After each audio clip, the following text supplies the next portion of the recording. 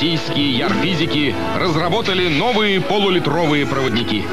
Благодаря им заряд положительной энергии легко идет по цепи, не встречая никакого сопротивления и передается от одного к другому, пока цепь не замкнется. Ярпиво. Энергия в мирных целях.